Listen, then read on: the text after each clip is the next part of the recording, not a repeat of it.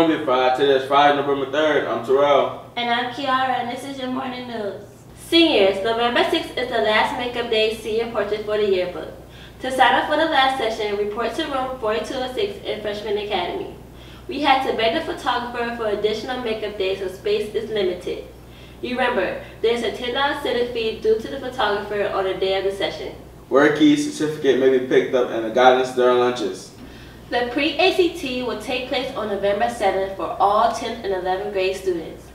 There will be a parent informational meeting on November 2nd at BHS at 6 p.m. in the small auditorium. Get ready! Worldwide, premature birth is the leading cause of death in children under the age of 5. Babies born too early may have more health issues than babies born on time and may face long-term health problems that affect the brain, the lungs, hearing, or vision. November 17th is World Prematurity Day. Join FBLA as we partner with the March of Dimes to help raise awareness of this serious health crisis and show support on that day by coloring BHS purple, the March of Dimes color. Purple wristbands engraved with the Beaufort High School will be sold for $1 November 10th through the 17th in the cafeteria and in Ms. Smith's classroom 2205. Students who have purchased the wristband will be allowed to wear purple shirts and accessories with blue or purple jeans on November 17th. FBLA has set a fundraising goal of $500. We hope that you will help us reach our goal. Your generosity will help to fund life-saving research and programs that make a difference in our community and around the world. Students planning to take AP Calculus in the spring need to join Ms. Wood's Google Classroom using the code on the screen to get their review packet. These review packets are due on the first day of class of January.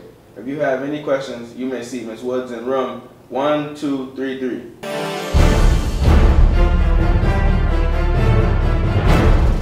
FBLA members, your membership dues of $30 must be paid by Friday, November 3rd. Please make your payment directly to the bookkeeper, Ms. Galley, or use the online payment portal. This Friday, the Youth and Government Club will have the second Jean Day fundraiser.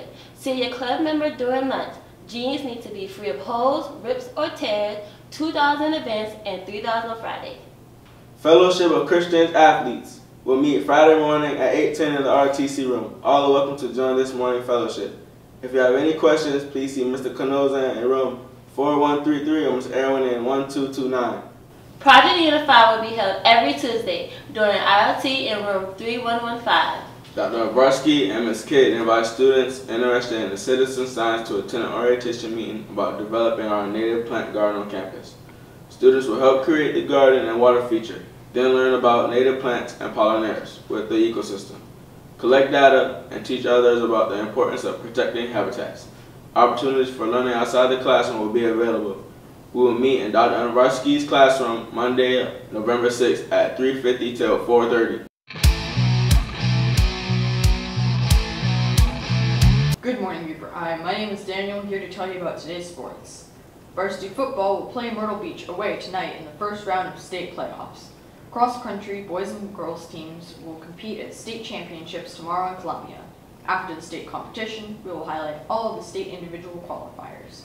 That's it for your sports announcements today. Go Eagles! Please stand for the Pledge of Allegiance.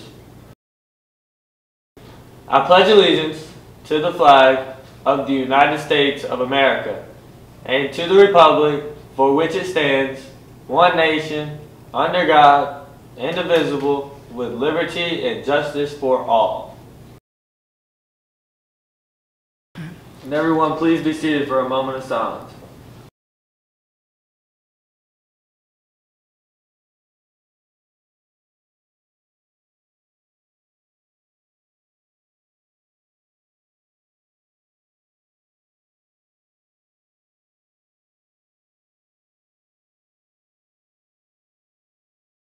Thanks for watching. If you want to see more of us, you can find us on YouTube. Please subscribe. Come again.